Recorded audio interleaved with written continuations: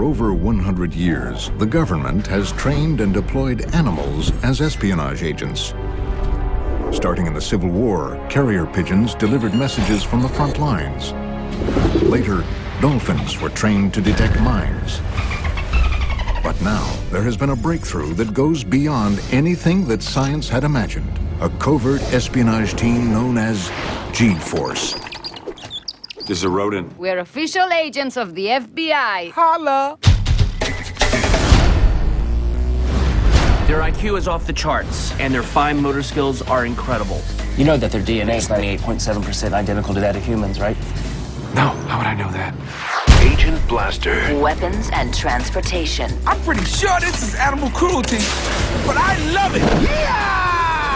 Agent Juarez. Martial arts with a secret weapon. Whoa. Agent Speckles. Cyber intelligence. I'm setting up a worm to decipher. You're a genius. I'm a mole. I got a thing for worms. Agent Mooch. High-tech surveillance. Agent Darwin. G-Force team leader. The fate of the free world rests on my shoulders. Uh-oh.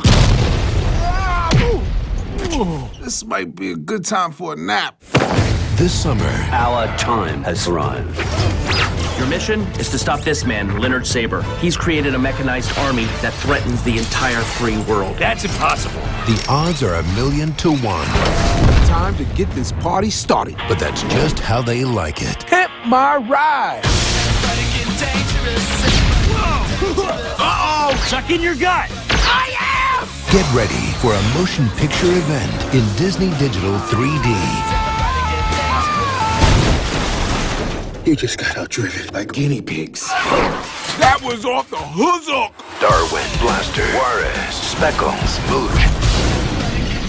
G-Force. Ew, Grandpa, what's that? It's a uh, horrible crime against nature, I think.